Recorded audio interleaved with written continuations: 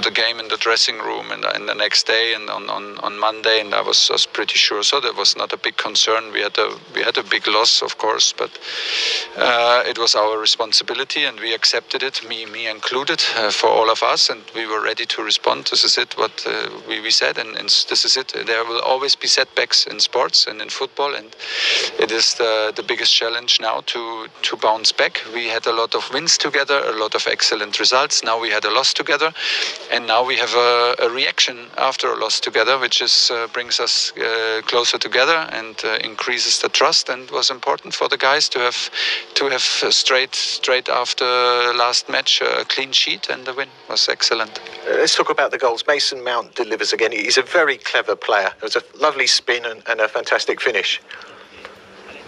Yeah, so I'm very, very happy that he scores. It was a very important goal, away goal, and, and opens up the game for us and, and calms calms us a little bit, everybody's nerves.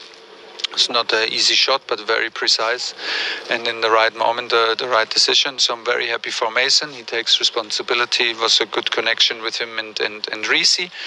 And uh, Mason is is uh, precise in finishing and always ready to, to help us with his goals. Was uh, well done. Um, ben, ben Chilwell, he's icing on the cake, wasn't it? It's his first Champions League goal as well as Mason's. Uh, okay was was uh, was was excellent done because he was uh, he kept the composure and and went past the goalkeeper. It was uh, also super important to even uh, to even uh, get a second second away goal.